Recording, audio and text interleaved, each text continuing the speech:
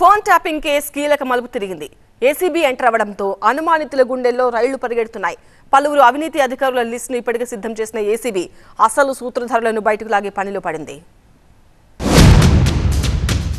తెలంగాణలో పెను సంచలనం సృష్టించిన ఫోన్ ట్యాపింగ్ వ్యవహారం కీలక మలుపు తిరిగింది. కేసు ఏసీబీ చేతికి వెళ్ళింది ఇక ఏసీబీ అలా ఎంటర్ అవ్వడంతోనే అధికారులపై ఫుల్ ఫోకస్ పెట్టింది. రాజకీయ నాయకులు హవాలా రియల్ ఎస్టేట్ వ్యాపారుల నుంచి వసూళ్ళకు పాల్పడినట్లు వచ్చిన ఆరోపణల నేపథ్యంలో ఆ డబ్బుతో విల్లాల కొనుగోలు ఆర్థిక లావాదేవీలపై ఏసీబీ ఆరా తీస్తోంది. త్వరలోనే ఆయా అధికారుల ఇండ్లలో ఏసీబీ తనిఖీలు జరిపే అవకాశం ఉన్నట్లు తెలుస్తోంది. దీంతో ఈ కేసులో అరెస్టైన అయిన వారితో పాటు అనుమానితులు కూడా భయపడిపోతున్నారు. మరోవైపు ప్రణీత్ అంటే రెండు వేల పద్దెనిమిది పంతొమ్మిది రెండు వేల ఇరవై మూడు ఎన్నికలతో పాటు ఉప ఎన్నికల్లోనూ ఫోన్లు ట్యాప్ చేసినట్లు తేల్చారు అధికారులు.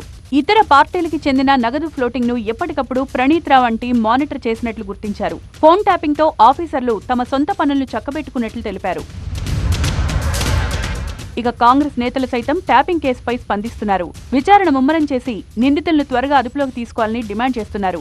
ఈ మేరకు డీజీపీని కలిశారు Congress MLA N M Srinivasa Reddy phone tapping విచారణ పరిధి పెంచాలంటూ డీజీపీకి వినతి పత్రం అందజేశారు ఆయన. ఫోన్ ట్యాపింగ్ పై తన దగ్గర ఆధారాలు ఉన్నాయని డీజీపీకి తెలిపారు.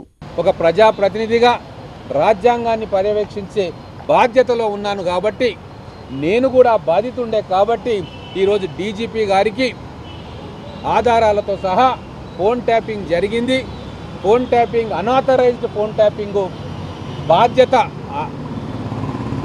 ఎవరి మీద పెడతారో ఇన్వెస్టిగేషన్ చేసి చట్టపరంగా శిక్షించాలని చెప్పి వారిని కోరడం జరిగింది. మొత్తంగా ఫోన్ ట్యాపింగ్ కేసులో ముమ్మర దర్యాప్తు సాగుతోంది. ఏసీబీ ఎంటర్ అవడంతో మరికొన్ని రోజుల్లో కీలక వ్యక్తులు బయటకొచ్చే అవకాశాలు కనిపిస్తున్నాయి.